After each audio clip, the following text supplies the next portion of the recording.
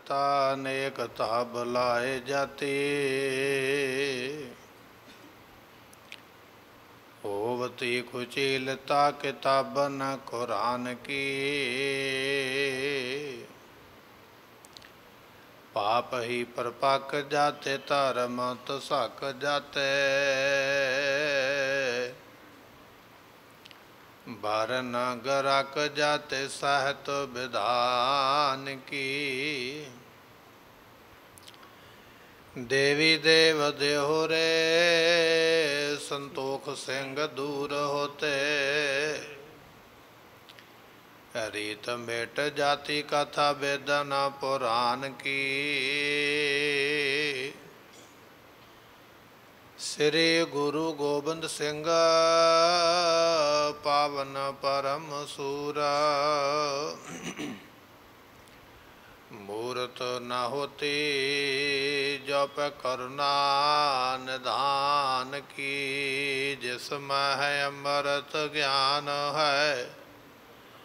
ਮਾਨਕ ਭਗਤ ਵੈਰਾਗ, ਸ੍ਰੀ ਗੁਰੂ ਗ੍ਰੰਥ ਸਾਹਿਬ ਉਦਦ ਬੰਦੋਂ ਕਰ ਅਨੁਰਾਗ। ਸ੍ਰੀ ਗੁਰ ਸ਼ਬਦ ਕਮਾਏ ਜਨਾ, ਜੀਤੇ ਪੰਜ ਵਿਕਾਰ। ਤਿਨ ਸੰਤਨ ਕੋ ਬੰਦਨਾ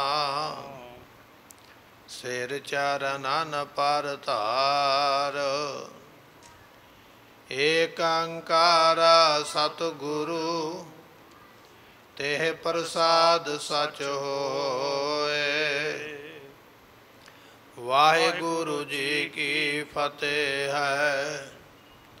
ਵਿਗਨ ਵਿਨਾਸ਼ਨ ਸੋਏ। ਸ੍ਰੀ ਵਾਹਿਗੁਰੂ ਜੀ ਕੀ ਫਤਿਹ ਹੈ।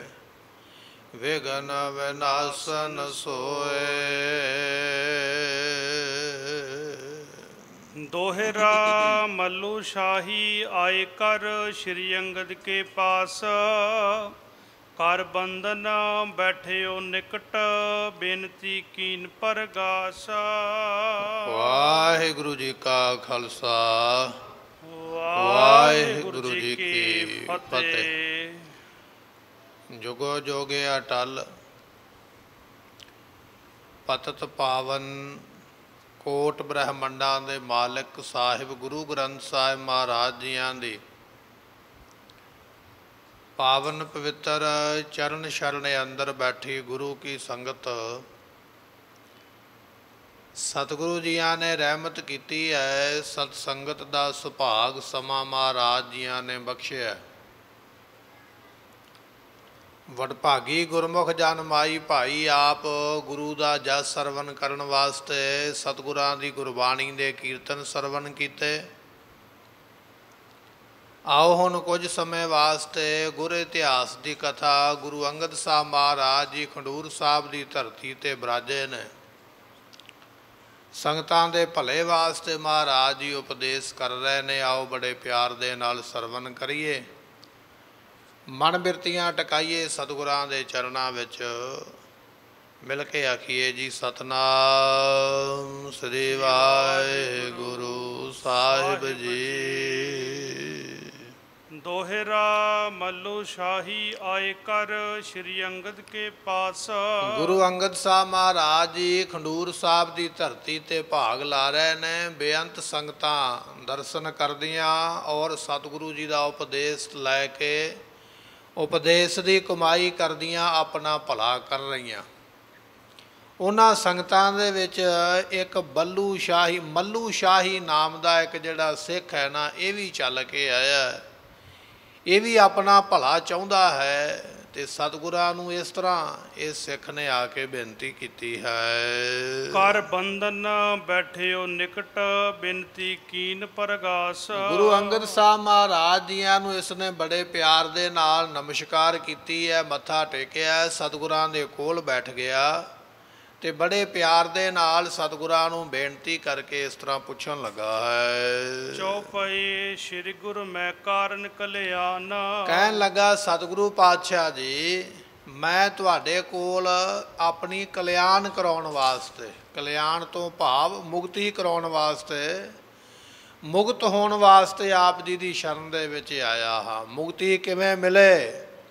ਮੁਕਤ ਕਿਵੇਂ ਹੋ ਜਾਈਏ ਇਸ ਗੱਲ ਦਾ ਮੈਨੂੰ ਗਿਆਨ ਨਹੀਂ ਹੈ ਸਮਝ ਨਹੀਂ ਹੈ। ਪਰ ਮੈਂ ਮੁਕਤੀ ਦੀ ਦਾਤ ਚਾਹੁੰਦਾ ਹਾਂ ਤੁਹਾਡੇ ਦਰ ਤੋਂ। ਇਸ ਕਰਕੇ ਤੁਹਾਡੇ ਕੋਲ ਆਇਆ ਹਾਂ। ਆਇਓ ਸੁਨ ਤੁਮ ਸੁਜਸ ਮਹਾਨ। ਸਤਿਗੁਰੂ ਜੀ ਤੁਹਾਡਾ ਜਸ ਥਾਵਾਂ ਥਾਵਾਂ ਤੇ ਫੈਲਿਆ ਹੋਇਆ ਹੈ। ਤੁਹਾਡੀ ਵਡਿਆਈ ਬਹੁਤ ਸੰਗਤਾਂ ਕਰ ਰਹੀਆਂ। ਸੰਗਤਾਂ ਦੇ ਕੋਲੋਂ ਤੁਹਾਡੀ ਵਡਿਆਈ ਸੁਣ ਕੇ ਮੈਂ ਤੁਹਾਡੇ ਦਰਬਾਰ ਦੇ ਵਿੱਚ ਪਹੁੰਚਾ ਹਾਂ। ਕੀਜੈ ਅਬ ਆਪਨੋ ਉਪਦੇਸ਼। ਸਤਿਗੁਰੂ ਜੀ ਕਿਰਪਾ ਕਰੋ ਆਪਣਾ ਉਪਦੇਸ਼ ਕਰੋ ਮੈਨੂੰ। ਤੁਹਾਡਾ ਉਪਦੇਸ਼ ਮੈਂ ਕਮਾ ਕੇ ਉਪਦੇਸ਼ ਦੇ ਉੱਪਰ ਚੱਲ ਕੇ ਤੇ ਆਪਣਾ ਜਨਮ ਸਫਲਾ ਕਰ ਲਵਾਂ। ਤਿਸ ਤੇ ਬਿਨਸੈ ਸਗਲ ਕਲੇਸ਼। ਜੇ ਤੁਸੀਂ ਮੇਰੇ ਤੇ ਕਿਰਪਾ ਕਰੋਗੇ ਮੈਨੂੰ ਉਪਦੇਸ਼ ਦੇਵੋਗੇ ਤੇ ਮੈਂ ਉਸ ਉਪਦੇਸ਼ ਦੀ ਕਮਾਈ ਕਰਕੇ ਤੇ ਜਿਹੜੇ ਕਲੇਸ਼ ਨੇ ਦੁੱਖ ਨੇ ਇਸ ਜਨਮ ਦੇ ਵਿੱਚ ਪਏ ਹੋਏ ਉਹ ਤੁਹਾਡੀ ਕਿਰਪਾ ਦੇ ਨਾਲ ਮੇਰੇ ਦੂਰ ਹੋ ਜਾਣਗੇ। ਕਰਤ ਚਾਕਰੀ ਮੁਗਲਨ ਕੇਰੀ ਹੁਣ ਇਹ ਆਪਣੇ ਕੰਮ ਬਾਰੇ ਦੱਸਦਾ ਪਿਆ। ਕਹਿਣ ਲੱਗਾ ਮਹਾਰਾਜ ਮੈਂ ਮੁਗਲਾਂ ਦੀ ਫੌਜ ਦੇ ਵਿੱਚ ਸਿਪਾਹੀ ਭਰਤੀ ਹੋਇਆ ਹਾਂ ਤੇ ਮੈਂ ਨੌਕਰ ਹੋਣ ਕਰਕੇ ਮੈਨੂੰ ਜਗ੍ਹਾ ਜਗ੍ਹਾ ਤੇ ਜਾਣਾ ਪੈਂਦਾ ਹੈ ਫੌਜ ਦੇ ਵਿੱਚ ਆਪਣੀ ਸੇਵਾ ਨਿਭਾਉਣ ਵਾਸਤੇ। ਮੇਰੇ ਪਰਿਵਾਰ ਦੀ ਉਪਜੀਵਕਾ ਜਿਹੜੀ ਹੈ ਰੋਜੀ ਰੋਟੀ ਹੈ ਉਹ ਇਸ ਕਾਰੋਬਾਰ ਤੋਂ ਚੱਲਦੀ ਹੈ ਕਿ ਮੈਂ ਮੁਗਲਾਂ ਦੀ ਫੌਜ ਦੇ ਵਿੱਚ ਸਿਪਾਹੀ ਦੀ ਨੌਕਰੀ ਕਰਦਾ ਹਾਂ। ਕਰਉ ਜੀਵਕਾ ਤਹਾਂ ਕਨੇਰੀ ਮੈਂ ਆਪਣੀ ਉਪਜੀਵਕਾ ਵਾਸਤੇ ਉਸ ਜਗ੍ਹਾ ਦੇ ਉੱਪਰ ਮੁਗਲਾਂ ਦੇ ਕੋਲ ਨੌਕਰੀ ਕਰਦਾ ਹਾਂ ਜੀ। ਫਲਤ ਪਲਤ ਮੁਖ ਉਜਲ ਰਹਿ। ਸਤਿਗੁਰੂ ਜੀ ਮੈਂ ਇਹ ਚਾਹੁੰਦਾ ਹਾਂ ਵੀ ਇਸ ਦੁਨੀਆ ਦੇ ਵਿੱਚ ਵਿੱਚ ਵੀ ਮੇਰਾ ਮੁਖ ਉਜਲਾ ਰਵੇ। ਤੇ ਜਦੋਂ ਮੈਂ ਇਹ ਸਰੀਰ ਛੱਡ ਕੇ ਜਾਵਾਂ ਦਰਗਾਹ ਦੇ ਵਿੱਚ ਵੀ ਮੇਰਾ ਮੁਖ ਉਜਲਾ ਰਵੇ ਉਥੇ ਵੀ ਮੈਨੂੰ ਮਾਰ ਨਾ ਪਵੇ ਇਸ ਦੁਨੀਆ ਦੇ ਵਿੱਚ ਵੀ ਸਤਕਾਰ ਬਣਿਆ ਰਵੇ ਇਸ ਤਰ੍ਹਾਂ ਦੀ ਮੇਰੇ ਤੇ ਕਿਰਪਾ ਕਰੋ। ਅਸ ਕਰਨੀ ਕੋ ਮਮ ਚਿਤ ਚਾਹੈ। ਮੇਰਾ ਮਨ ਚਾਹੁੰਦਾ ਹੈ ਕਿ ਮੈਂ ਇਹੋ ਜਿਹਾ ਕੋਈ ਕੰਮ ਕਰਾਂ ਜਿਹਦੇ ਕਰਕੇ ਇੱਥੇ ਵੀ ਮੇਰਾ ਸਤਕਾਰ ਬਣਿਆ ਰਵੇ ਤੇ ਉਹ ਚੰਗਾ ਕੰਮ ਐਸਾ ਭਲੇ ਦਾ ਮੈਂ ਕਰਾਂ ਕਿ ਦਰਗਾਹ ਦੇ ਵਿੱਚ ਵੀ ਮੈਨੂੰ ਸਤਕਾਰ ਮਿਲੇ। ਸਤਿਗੁਰੂ ਮਹਾਰਾਜ ਜੀਆਂ ਦਾ ਬਖਸ਼ਿਸ਼ ਵਾਲਾ ਬਚਨ ਕਹਿਣ ਲੱਗੇ, ਭਾਈ, ਜਿਨ੍ਹਾਂ ਨੇ ਨਾਮ ਜਪਿਆ ਹੈ, ਜਿਨੀ ਨਾਮ ਧਿਆਇਆ ਗਏ ਮੁਸਕਤ ਘਾਲ ਨਾਨਕ ਤੇ ਮੁਖ ਉਜਲੇ। ਉਹਨਾਂ ਦੇ ਮੁਖ ਉਜਲੇ ਇਸ ਦੁਨੀਆ ਦੇ ਵਿੱਚ ਵੀ ਨੇ, ਪਰਲੋਕ ਦੇ ਵਿੱਚ ਵੀ ਨੇ ਜਿਨ੍ਹਾਂ ਨੇ ਪ੍ਰਮਾਤਮਾ ਦੇ ਨਾਮ ਨੂੰ ਜਪਿਆ ਹੈ। ਸੁਨ ਕਰ ਸ਼ਰਦਾ ਪਿਖ ਕਰ ਭਾਰੇ। ਗੁਰੂ ਅੰਗਦ ਸਾਹਿਬ ਮਹਾਰਾਜ ਜੀਆਂ ਨੇ ਇਹਦੀ ਪ੍ਰਾਰਥਨਾ ਸੁਣੀ ਹੈ ਇਹਦੀ ਬੇਨਤੀ ਸੁਣੀ ਹੈ ਇਹਦੀ ਭਾਵਨਾ ਸੁਣੀ ਹੈ ਕਿ ਇਹ ਗੱਲ ਕਹਿ ਰਿਹਾ ਹੈ ਕਿ ਮੈਨੂੰ ਲੋਕ ਤੇ ਪਰਲੋਕ ਦੇ ਵਿੱਚ ਮੇਰਾ ਮੁਖ ਉਜਲਾ ਰਵੇ। ਸਤਿਗੁਰੂ ਜੀ ਇਹਦੀ ਬੇਨਤੀ ਸੁਣ ਕੇ ਇਸ ਤਰ੍ਹਾਂ ਕਹਿਣ ਲੱਗੇ ਹਨ। ਸ਼੍ਰੀ ਅੰਗਦ ਗੁਰ ਬਾਕ ਉਚਾਰੇ। ਗੁਰੂ ਅੰਗਦ ਸਾਹਿਬ ਮਹਾਰਾਜ ਜੀਆਂ ਨੇ ਇਸ ਨੂੰ ਉਪਦੇਸ਼ ਦੇਣ ਵਾਸਤੇ ਇਸ ਤਰ੍ਹਾਂ ਬਚਨ ਕੀਤੇ। ਭਾਈ ਮੱਲੋ ਹਿਰਦੈ ਵਿਚਾਰੋ। ਸਤਿਗੁਰੂ ਜੀ ਨੇ ਕੀ ਉਪਦੇਸ਼ ਦਿੱਤਾ? ਕਹਿਣ ਲੱਗੇ ਭਾਈ ਮੱਲੂ ਆਪਣੇ ਹਿਰਦੇ ਵਿੱਚ ਇਹ ਗੱਲ ਚੰਗੀ ਤਰ੍ਹਾਂ ਵਿਚਾਰ ਲੈ। ਚੰਗੀ ਤਰ੍ਹਾਂ ਵਿਚਾਰ ਆਪਣੇ ਮਨ ਦੇ ਵਿੱਚ ਇਸ ਬਚਨ ਨੂੰ। ਜਿਹੜਾ ਅਸੀਂ ਤੈਨੂੰ ਦੱਸਣ ਲੱਗੇ ਹਾਂ। ਦੇਹ ਅਨਿਤ ਸਦਾ ਨਿਰਧਾਰੋ। ਮਹਾਰਾਜ ਕਹਿੰਦੇ ਇਹ ਬਚਨ ਪੱਕਾ ਕਰਕੇ ਆਪਣੇ ਪੱਲੇ ਬੰਨ ਲੈ ਵੀ ਇਹ ਜਿਹੜੀ ਦੇਹ ਹੈ ਨਾ ਸਰੀਰ ਇਹ ਅਨਿਤ ਹੈ ਭਾਵ ਕਿ ਰੋਜ਼ ਨਹੀਂ ਰਹਿਣ ਵਾਲੀ। ਇਹ ਅੱਜ ਹੈ ਤੇ ਕੱਲ ਦਾ ਕੋਈ ਪਤਾ ਨਹੀਂ ਹੈ। ਇਹ ਨਾਸਵੰਤ ਸਰੀਰ ਹੈ। ਗੁਰੂ ਪਾਤਸ਼ਾਹ ਦੀ ਬਾਣੀ ਨੇ ਬਚਨ ਕੀਤਾ ਕਹਾਂ ਵਿਸਾਸਾ ਇਸ ਭਾਂਡੇ ਕਾ? ਇਹ ਸਰੀਰ ਰੂਪੀ ਭਾਂਡੇ ਦਾ ਪਤਾ ਹੀ ਨਹੀਂ ਹੈ, ਕੋਈ ਭਰੋਸਾ ਨਹੀਂ ਹੈ ਵੀ ਕਿੰਨਾ ਸਮਾਂ ਇਹ ਰਵੇ। ਦਿਨ ਤੇ ਪਹਿਰ ਪਹਿਰ ਤੇ ਘਰੀਆਂ, ਆਵ ਘਟੈ, ਤਨ ਸੀਜੈ ਕਾਲ ਅਹੇਰੀ ਫਿਰੈ, ਬਦਕ ਜਿਉ ਕਹੋ ਕਵਨ ਵਿਦ ਕੀਜੈ। ਸਤਿਗੁਰੂ ਜੀ ਕਹਿਣ ਲੱਗੇ, ਭਾਈ, ਇਹ ਜਿਹੜਾ ਸਰੀਰ ਹੈ ਨਾ ਦਿਨ ਦਿਨ ਕਰਕੇ ਘੜੀ ਘੜੀ ਕਰਕੇ ਘਟਦਾ ਹੈ। ਔਤ ਘਟੈ, ਦਿਨਸਰੈ ਨਾਰੇ, ਮਨ ਗੁਰਮਿਲ ਕਾਜ ਸਵਾਰੇ। ਪਿਆਰਿਆ, ਤੇਰੀ ਉਮਰਾ ਦਿਨ ਦਿਨ ਕਰਕੇ, ਰਾਤ ਕਰਕੇ, ਘੰਟਿਆਂ ਕਰਕੇ, ਮਿੰਟਾਂ ਕਰਕੇ ਘਟਦੀ ਜਾ ਰਹੀ ਹੈ। ਤੇ ਜਿੰਨਾ ਵੀ ਛੇਤੀ ਹੋ ਸਕਦਾ ਗੁਰੂ ਨੂੰ ਮਿਲ। ਗੁਰੂ ਦਾ ਉਪਦੇਸ਼ ਲੈ ਕੇ ਤੇ ਉਹਦੀ ਕਮਾਈ ਕਰਕੇ ਆਪਣਾ ਭਲਾ ਕਰ ਲੈ। ਇਹ ਗੁਰਬਾਣੀ ਦੇ ਮਹਾਵਾਕ ਨੇ ਜਿਹੜੇ ਆਪਾਂ ਸਰਵਣ ਕੀਤੇ।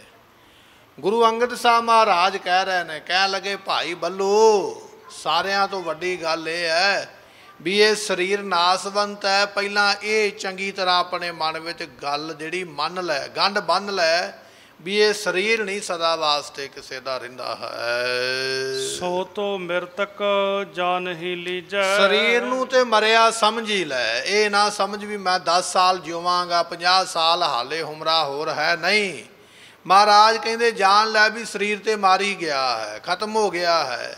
ਇਹਦਾ ਕੋਈ ਬਹੁਤਾ ਲੰਮਾ ਭਰੋਸਾ ਨਹੀਂ ਹੈ। ਇਸ ਹਿਤ ਚਿਤ ਨਹਿ ਸੰਸਾ ਕੀਜੈ। ਇਸ ਗੱਲ ਦਾ ਸ਼ੰਕਾ ਨਾ ਮਨ ਵਿੱਚ ਕਰੀ। ਇਸ ਗੱਲ ਦਾ ਭਰਮ ਨਾ ਤੇਰੇ ਮਨ ਵਿੱਚ ਆਵੇ ਕਿ ਮੇਰਾ ਸਰੀਰ ਬੜਾ ਲੰਮਾ ਸਮਾਂ ਰਹੇਗਾ। ਜਾਂ ਮੇਰੀ ਉਮਰਾਂ ਬੜੀ ਲੰਮੀ ਰਹੇਗੀ। ਲੋਕ ਵਿਖਾਉਂਦੇ ਨਾ ਆਪਣਾ ਹੱਥ ਪਾਂਦਿਆਂ ਨੂੰ ਜਾ ਕੇ ਜੋਤਸ਼ੀਆਂ ਨੂੰ ਜਾ ਕੇ ਵੇਖ ਮੇਰੀ ਉਮਰਾਂ ਕਿੰਨੀ ਲੰਮੀ ਹੈ ਤੇ ਉਹ ਵੀ ਅੱਗੋਂ ਲੈਣ ਵਾਸਤੇ ਦਾਨ ਦੱਸ ਦਿੰਦੇ ਇੰਨੇ ਸਾਲ ਤੂੰ ਜਿਵੇਂਗਾ। ਮਹਾਰਾਜ ਕਹਿੰਦ ਕਹਿਣ ਲੱਗੇ, ਇਸ ਗੱਲ ਦਾ ਤੇ ਭਰੋਸਾ ਹੀ ਨਹੀਂ ਹੈ। ਇਹ ਤੇ ਪਤਾ ਹੀ ਨਹੀਂ ਕਿਸੇ ਨੂੰ। ਮਤ ਜਾਪੈ, ਸਾਹੋ ਆਵੇ ਕਿ ਨਾ ਆਵੇ RAM ਕੌਣ ਜਾਣਦਾ ਅਗਲਾ ਸਾਹ ਆਵੇਗਾ ਕਿ ਨਹੀਂ ਆਵੇਗਾ? ਗੁਰੂ ਨਾਨਕ ਦੇਵ ਮਹਾਰਾਜ ਨੂੰ ਪੁੱਛੀਏ, ਮਹਾਰਾਜ, ਸਾਡੀ ਉਮਰਾਂ ਕਿੰਨੀ ਲੰਬੀ ਹੈ? ਤੇ ਮਹਾਰਾਜ ਕਹਿਣ ਲੱਗੇ, ਭਾਈ ਪਿਆਰਿਆ, ਕੋਈ ਲੰਮੀ ਨਹੀਂ। ਐਵੇਂ ਨਾ ਆਪਣੇ ਮਨ ਵਿੱਚ ਕੋਈ ਭਰਮ ਪਾਲ ਕੇ ਬੈਠ ਜਾਵੀਂ ਵੀ ਜੋਤਸ਼ੀ ਨੇ ਕਹਿਤਾ 80 ਸਾਲ ਤੇ 80 ਸਾਲ ਜਿਵਾਂਗਾ ਸਤਿਗੁਰੂ ਕਹਿੰਦੇ, ਸਾਡੀ ਗੁਰਮਤ ਜਿਹੜੀ ਹੈ, ਸਾਡਾ ਗਿਆਨ ਜਿਹੜਾ ਉਹ ਇਹ ਗੱਲ ਕਹਿੰਦਾ ਹੈ, ਹਮ ਆਦਮੀ ਹਾਂ ਇੱਕ ਦਮੀ, ਮੋਹਲਤ ਮੋਹਤ ਨਾ ਜਾਣਾ। ਪਿਆਰਿਆ, ਇੱਕ ਦਮ ਦਾ ਤੂੰ ਬੰਦਾ ਹੈ 80 90 ਸਾਲ ਦੀ ਤੇ ਬੜੀ ਲੰਮੀ ਗੱਲ ਹੈ। ਸਾਹ ਦੇ ਅੰਦਰ ਚਲਾ ਗਿਆ ਤੇ ਬੰਦਾ ਹੈ, ਆਦਮੀ ਹੈ। ਨਹੀਂ ਗਿਆ ਤੇ ਮਿੱਟੀ ਦੀ ਢੇਰੀ ਹੈ। ਗੁਰਮਤ ਇਹ ਗੱਲ ਕਹਿੰਦੀ ਹੈ। ਸਤਿਗੁਰੂ ਜੀ ਕਹਿ ਰਹੇ ਨੇ, ਕਹਿਣ ਲੱਗੇ, ਭਾਈ ਪਿਆਰਿਆ, ਸਰੀਰ ਤੇ ਨਾਸ਼ਵੰਤ ਹੈ ਤੇ ਇਸ ਨੇ ਨਾਸ ਹੋਣਾ ਹੈ। ਇਹ ਕੋਈ ਪਤਾ ਨਹੀਂ ਕਿ ਅੱਜ ਸਮਾਂ ਕਿ ਕੱਲ ਸਮਾਂ ਆ ਜਾਵੇ। ਰਾਣਾ ਰਾਓ ਨਾ ਕੋ ਰਹਿ, ਰੰਗ ਨਾ ਤੁੰਗ ਫਕੀਰ, ਵਾਰੀ ਆਪੋ ਆਪਣੀ, ਕੋਏ ਨਾ ਬੰਧੈ ਧੀਰ। ਕੋਈ ਧੀਰ ਜੇ ਧਾਰਨ ਕਰਕੇ ਰਹਿ ਨਹੀਂ ਸਕਦਾ। ਇਹ ਵਾਰੀ ਹੈ ਕਿਸੇ ਦੀ ਅੱਜ ਤੇ ਕਿਸੇ ਦੀ ਕੱਲ ਨੂੰ ਹੈ। ਆਤਮ ਸਦਾ ਸਾਚ ਹੀ ਜਾਨੋ। ਪਰ ਜਿਹੜੀ ਆਤਮਾ ਹੈ ਨਾ ਅੰਦਰ ਜਿਹਦੇ ਕਰਕੇ ਸਰੀਰ ਚੱਲਦਾ ਫਿਰਦਾ ਉੱਠਦਾ ਬੈਠਦਾ ਇਹ ਚੇਤਨ ਸਰੀਰ ਦੌੜਿਆ ਫਿਰਦਾ ਹੈ। ਜਿਹਦੇ ਕਰਕੇ ਚੇਤਨਤਾ ਆਈ ਹੈ ਉਹ ਹੈ ਆਤਮਾ। ਤੇ ਕਹਿਣ ਲੱਗੇ ਉਹ ਜਿਹੜੀ ਆਤਮਾ ਹੈ ਸਦਾ ਵਾਸਤੇ ਹੀ ਸੱਚ ਹੈ। ਕਿਸ ਕੋ ਮਾਰਿਓ ਮਰੈ ਨਾ ਮਾਨੋ। ਆਤਮਾ ਕਦੇ ਵੀ ਮਰਦੀ ਨਹੀਂ। ਆਤਮਾ ਦੀ ਕਦੇ ਮੌਤ ਨਹੀਂ ਹੁੰਦੀ ਹੈ। ਜਿਹੜੀ ਆਤਮਾ ਅੰਦਰ ਜੋਤ ਪ੍ਰਕਾਸ਼ ਕਰ ਰਹੀ ਹੈ ਨਾ ਉਹ ਕਿਸੇ ਵੀ ਤਰੀਕੇ ਦੇ ਨਾਲ ਮਰਦੀ ਨਹੀਂ ਹੈ। ਪਾਵਕ ਦਾਹ ਕਰਤ ਨਹੀਂ ਤਿਸੈ। ਭਾਵੇਂ ਜਿੰਨੀ ਮਰਜ਼ੀ ਅੱਗ ਬਾਲ ਦਿਓ ਲੱਕੜਾਂ ਦੇ ਨਾਲ ਵੱਡੇ ਵੱਡੇ ਢੇਰ ਲੱਕੜਾਂ ਦੇ ਲਾ ਕੇ ਅੱਗ ਬਾਲ ਦਿਓ। ਕਹਿੰਦੇ ਆਤਮਾ ਨੂੰ ਤੇ ਅੱਗ ਵੀ ਸਾੜ ਨਹੀਂ ਸਕਦੀ ਹੈ। ਉਹ ਇਸ ਤਰ੍ਹਾਂ ਦੀ ਹੈ ਜੀ। ਜਲ ਨਾ ਡੁਬਾਏ ਸਕੈ ਨਿਜ ਬਿਸੈ। ਤੇ ਪਾਣੀ ਜਿੰਨਾ ਮਰਜ਼ੀ ਚੜ ਕੇ ਆ ਜਾਵੇ ਸਰੀਰ ਤੇ ਡੁੱਬ ਜਾਵੇਗਾ। ਪਰ ਆਤਮਾ ਤੇ ਕਹਿੰਦੇ ਪਾਣੀ ਵਿੱਚ ਵੀ ਨਹੀਂ ਡੁੱਬਦੀ ਹੈ।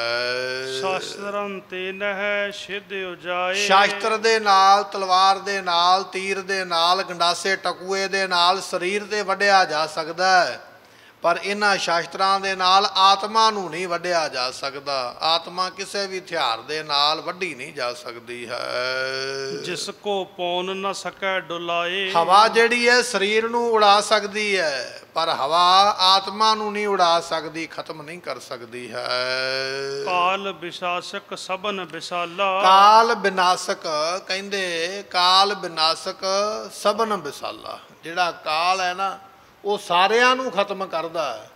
ਪਰ ਇਹ ਜਿਹੜੀ ਆਤਮਾ ਹੈ ਇਹਦਾ ਕੋਈ ਕਾਲ ਹੀ ਨਹੀਂ ਹੈ ਕਿਉਂਕਿ ਆਤਮਾ ਪਰਮਾਤਮਾ ਦੇ ਵਿੱਚੋਂ ਨਿਕਲੀ ਉਹਦੀ ਅੰਸ਼ ਹੈ ਉਹਦਾ ਰੂਪ ਹੈ। ਇਸ ਕਰਕੇ ਆਤਮਾ ਕਦੇ ਕਿਸੇ ਵੀ ਤਰੀਕੇ ਦੇ ਨਾਲ ਨਾਸ ਨਹੀਂ ਹੁੰਦੀ ਹੈ। ਆਤਮ ਅਹੈ ਕਾਲ ਕੋ ਕਾਲਾ। ਇਸ ਕਰਕੇ ਇਹ ਗੱਲ ਮੰਨ ਲੈ ਵੀ ਜਿਹੜੀ ਆਤਮਾ ਹੈ ਨਾ ਉਹ ਕਾਲ ਦਾ ਵੀ ਨਾਸ ਕਰਨ ਵਾਲੀ ਹੈ ਉਹਦਾ ਕੋਈ ਸਮਾਂ ਨਹੀਂ ਹੈ ਕਦੇ ਵੀ ਆਤਮਾ ਮਰਦੀ ਨਹੀਂ ਹੈ। ਜਗ ਕੋ ਲਖ ਕੈ ਸੁਪਨ ਸਮਾਨੈ। ਇਸ ਕਰਕੇ ਸੰਸਾਰ ਨੂੰ ਸੁਪਨੇ ਦੇ ਵਾਂਗ ਜਾਣ। ਸੁਪਨਾ ਕਦੋਂ ਆਵੇਗਾ? ਜਦੋਂ ਮਨੁੱਖ ਸੁਤਾ ਹੈ। ਸੁਪਨਾ ਕਿੰਨਾ ਚਿਰ ਰਵੇਗਾ ਜਿੰਨਾ ਚਿਰ ਮਨੁੱਖ ਸੁਤਾ ਹੈ। ਜਦੋਂ ਜਾਗ ਪਿਆ ਉਦੋਂ ਸੁਪਨਾ ਨਾਸ ਖਤਮ ਹੋ ਗਿਆ। ਇਸੇ ਤਰ੍ਹਾਂ ਇਹ ਸੰਸਾਰ ਹੈ। ਜਿੰਨਾ ਚਿਰ ਮਨੁੱਖ ਅਵਿਦਿਆ ਦੀ ਨੀਂਦ ਵਿੱਚ ਸੁਤਾ ਪਿਆ, ਉਹਨਾਂ ਚਿਰ ਇਹ ਸੰਸਾਰ ਸੱਚਾ ਜਾਪਦਾ, ਚੰਗਾ ਜਾਪਦਾ। ਪਰ ਜਦੋਂ ਗਿਆਨ ਹੋ ਗਿਆ ਤੇ ਗਿਆਨ ਦੇ ਨਾਲ ਅੱਖਾਂ ਖੁੱਲ ਗਈਆਂ, ਉਦੋਂ ਪਤਾ ਲੱਗ ਜਾਣਾ ਵੀ ਇਹ ਸੰਸਾਰ ਤੇ ਨਾਸਵੰਤ ਹੈ। ਗੁਰੂ ਤੇਗ ਬਹਾਦਰ ਮਹਾਰਾਜ ਸਾਹਿਬ ਜੀ ਬਖਸ਼ਿਸ਼ ਵਾਲਾ ਬਚਨ ਕਰਦੇ, ਕਹਿਣ ਲੱਗੇ, ਜੈਸੇ ਜਲ ਤੇ ਬੁੱਧ ਬੁਦਾ ਉਪਜੈ ਬਿਨਸੈ ਨੀਤ, ਜਗ ਰਚਨਾ ਤੈਸੇ ਰਚੀ ਕਹੋ ਨਾਨਕ, ਸੁਣ ਸੁਣ ਮੀਤ ਹੈ ਮਿੱਤਰਾ। ਇਹ ਬਚਨ ਸੁਣ, ਜਿਵੇਂ ਪਾਣੀ ਦੇ ਬੁਲਬੁਲੇ ਵਾਰ-ਵਾਰ ਬਣਦੇ ਤੇ ਨਾਸ ਹੁੰਦੇ ਨੇ, ਇਹ ਸੰਸਾਰ ਵੀ ਪਤਾ ਨਹੀਂ ਕਿੰਨੀ ਵਾਰ ਬਣਿਆ ਤੇ ਕਿੰਨੀ ਵਾਰ ਇਹਨੇ ਨਾਸ ਹੋਣਾ ਇਹ ਸੰਸਾਰ ਵੀ ਸਦਾ ਵਾਸਤੇ ਰਹਿੰਦਾ ਨਹੀਂ, ਇਸ ਕਰਕੇ ਇਸ ਨੂੰ ਮਿਥਿਆ ਕਿਹਾ ਗਿਆ ਹੈ। ਮਿਥਿਆ ਵਸਤੂ ਉਹ ਹੈ ਜਿਹੜੀ ਪਹਿਲਾਂ ਵੀ ਨਹੀਂ, ਜਿਹੜੀ ਬਾਅਦ ਵਿੱਚ ਵੀ ਨਹੀਂ ਹੋਵੇਗੀ। ਸਾਡਾ ਇਹ ਸਰੀਰ ਜਨਮ ਤੋਂ ਪਹਿਲਾਂ ਨਹੀਂ ਸੀ ਮਰਨ ਤੋਂ ਮਗਰੋਂ ਨਹੀਂ ਹੋਵੇਗਾ ਮਿਥਿਆ ਹੈ। ਇਹ ਸੰਸਾਰ ਪਹਿਲਾਂ ਨਹੀਂ ਸੀ ਤੇ ਬਾਅਦ ਵਿੱਚ ਵੀ ਨਹੀਂ ਹੋਵੇਗਾ। ਇਸ ਕਰਕੇ ਸੰਸਾਰ ਵੀ ਮਿਥਿਆ ਹੈ। ਵਰਨ ਆਸ਼ਰਮਨ ਕਿਰਿਆ ਸੁਠਾਨੈ। ਪਹਿਲੇ ਸਮੇਂ ਦੇ ਵਿੱਚ ਜਿਹੜੇ ਕੰਮ ਸਨ ਆਪਣੇ ਵਰਨ ਦੇ ਮੁਤਾਬਕ ਆਪਣੀ ਜਾਤ ਦੇ ਮੁਤਾਬਕ ਕੀਤੇ ਜਾਂਦੇ ਸਨ। ਜਿਹੜਾ ਤਰਖਾਣ ਸੀ ਉਹ ਲੱਕੜੀ ਦਾ ਕੰਮ ਕਰਦਾ। ਜਿਹੜਾ ਲੋਹਾਰ ਸੀ ਉਹ ਲੋਹੇ ਦੇ। ਕੰਮ ਦੇ ਵਿੱਚ ਮਾਹਰ ਹੋਇਆ ਕਰਦਾ, ਸ਼ਾਸਤਰ ਬਣਾਇਆ ਕਰਦਾ।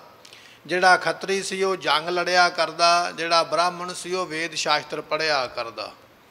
ਇਸੇ ਤਰ੍ਹਾਂ ਬਾਕੀ ਜਿਹੜੀਆਂ ਜਾਤਾਂ ਹਨ, ਉਹ ਵੀ ਆਪੋ ਆਪਣੇ ਵਰਣ ਦੇ ਮੁਤਾਬਕ ਕੋਈ ਕੱਪੜੇ ਸਿਉਂਦਾ, ਕੋਈ ਕੱਪੜਿਆਂ ਨੂੰ ਬੁਣਦਾ।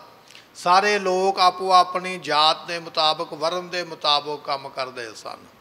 ਪਰ ਅੱਜ ਉਹ ਸਮਾਂ ਨਹੀਂ ਹੈ, ਅੱਜ ਜਿਹੜਾ ਮਰਦੀ ਜੋ ਮਰਦੀ ਕੰਮ ਕਰ ਸਕਦਾ। ਹੈ। ਉਸ ਵੇਲੇ ਦਾ ਬਚਨ ਹੈ। ਸਤਿਗੁਰੂ ਕਹਿਣ ਲੱਗੇ, ਜੋ ਵੀ ਤੇਰੀ ਜਾਤ ਹੈ, ਗੋਤ ਹੈ ਵਰਨ ਹੈ, ਜੋ ਵੀ ਤੂੰ ਕੰਮ ਕਰ ਸਕਦਾ ਹੈ ਉਹ ਕੰਮ ਦੇ ਵਿੱਚ ਭਲੇ ਵਾਲਾ ਕੰਮ ਵੀ ਕਰਿਆ ਕਰ। ਬ੍ਰਹਮ ਗਿਆਨ ਕੋ ਨਿਤ ਅਭਿਆਸੈ ਸੋ ਇਸ ਕਰਕੇ ਬ੍ਰਹਮ ਗਿਆਨ ਦਾ ਹਰ ਵੇਲੇ ਅਭਿਆਸ ਕਰਨਾ ਹੈ। ਤਨ ਹੰਤਾ ਲਖ ਝੂਠ ਵਿਨਾਸੈ ਸਰੀਰ ਦੀ ਜਿਹੜੀ ਹੰਗਤਾ ਹੈ ਨਾ ਇਸ ਨੂੰ ਝੂਠਿਆਂ ਜਾਣ ਕੇ ਨਾਸਵੰਤ ਜਾਣ ਕੇ ਸਰੀਰ ਨਾਸਵੰਤ ਹੈ ਤੇ ਇਹਦਾ ਕਦੇ ਹੰਕਾਰ ਨਹੀਂ ਕਰਨਾ ਹੈ।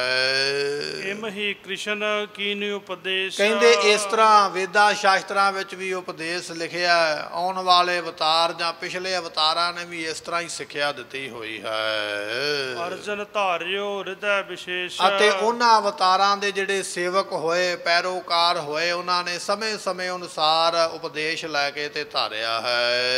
ਵਰਨ ਧਰਮ ਰਣ ਕਰੋ ਮਹਾਨੇ। ਤੇ ਤੇਰਾ ਜਿਹੜਾ ਧਰਮ ਹੈ ਉਹ ਹੈ ਖੱਤਰੀ ਧਰਮ ਤੇ ਤੂੰ ਹੈ ਜੰਗ ਦਾ ਸੂਰਮਾ। ਤੂੰ ਫੌਜੀ ਭਰਤੀ ਹੋਇਆ ਮੁਗਲਾਂ ਦੀ ਫੌਜ ਦੇ ਵਿੱਚ। ਤੇ ਤੇਰਾ ਧਰਮ ਇਹ ਆ ਵੀ ਜਦੋਂ ਜੰਗ ਪੈ ਜਾਵੇ ਕਦੇ ਪਿੱਠ ਨਹੀਂ ਵਿਖਾਉਣੀ ਜੰਗ ਦੇ ਵਿੱਚ। ਸਦਾ ਸਨਮੁਖ ਹੋ ਕੇ ਸਾਹਮਣੇ ਹੋ ਕੇ ਲੜਨਾ ਹੈ। ਆਤਮ ਸਾਚ ਕੂੜ ਤਨ ਜਾਣੇ। ਆਤਮਾ ਸੱਚੀ ਹੈ ਭਾਈ ਮੱਲੂ ਆਤਮਾ ਕਦੇ ਮਰਦੀ ਨਹੀਂ ਹੋ ਤੇ ਸਰੀਰ ਕਦੇ ਜਿਉਂਦਾ ਨਹੀਂ ਰਹਿ ਸਕਦਾ। ਇਹ ਬਚਨ ਆਪਣੇ ਪੱਲੇ ਦੇ ਨਾਲ ਬੰਨ ਲੈਣਾ ਕਰ।